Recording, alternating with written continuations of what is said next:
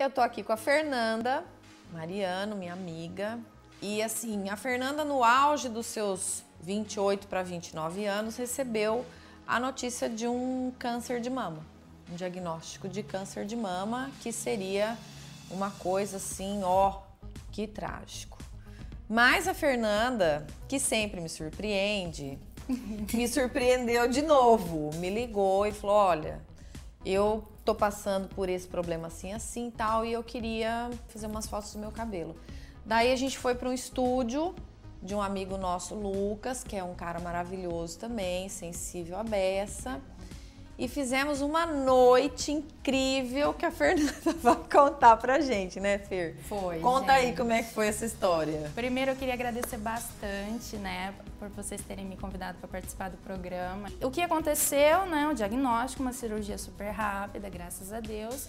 E após a cirurgia, eu já tinha feito o descanso da cirurgia, um mês e pouco depois, eu ia começar um processo de sessões de quimioterapia que seriam necessárias, né, para o processo do meu tratamento. E foi quando eu falei, não tenho mais foto de cabelo, quero foto de cabelo. Comentei com outro amigo nosso, o Flávio. É. E aí falou com o Lucas e eu já falei com você e eu falei, não, vamos fazer. Porque daí eu tive a primeira sessão, meu cabelo não caiu. Na primeira sessão ele foi caindo aos poucos, mas na segunda sessão ele não caiu, ele despencou. É.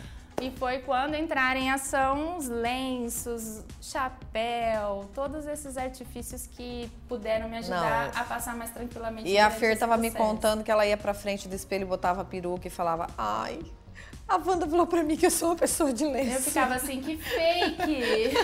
não, usava fake, porque fake é mais, mais, mais, mais atual. atual. Mas é. eu falava, não, não sou eu. Mas enfim, usei. É, ao longo então... desses anos trabalhando com cabelo, assim, algumas pessoas me procuraram para fazer esse processo de, de retirada do fio e a gente acaba acompanhando a volta do fio também, que volta diferente, né? Ele volta um fio mais fininho, ele volta, ele leva um tempo. Hoje a gente tem aqui no salão já produtos e procedimentos que aceleram esse crescimento, que no caso seria a luz de quartzo acompanhada de sucção, que na época da Fernanda a gente ainda não tinha. Então, assim, hoje a gente tem mais recursos para ajudar essas pessoas. E assim, aqui no salão, é, a gente gosta de deixar tudo muito para cima, né, Lívia? Então, se a pessoa vem nos procurar com esse tipo de problema, a gente já faz uma consultoria para aquele momento mesmo. As meninas vão mostrar para vocês é, como fica mais fácil, vai passar por esse período. Então, mais leve. Isso, mais leve seria que a palavra. É o que a gente estava conversando antes da gente começar aqui, que é assim, às vezes a pessoa recebe o diagnóstico da doença e ela fica ali derrotada, vamos dizer assim, né? E aí vem alguém, vem, pega e vem assistir um programa que tem três doidas que fala assim: não, você tem que se maquiar, você tem que pôr um brinco, você tem que pôr um colar. Vai falar, gente, acorda, é. sabe? Você tá fora da realidade. Acho por isso até que a gente escolheu a Fer, porque a Fer passou por esse momento de uma forma muito diferente. A Fer vai mostrar para vocês uma amarração é, Vamos lá. O importante é que talvez tambe essa a cabeça, né, e que você consiga desenvolver isso para também te dar uma coisa bacana e bela. Depois que você tampou assim a cabeça, né, toda, faz um torcido, o esquema do turbante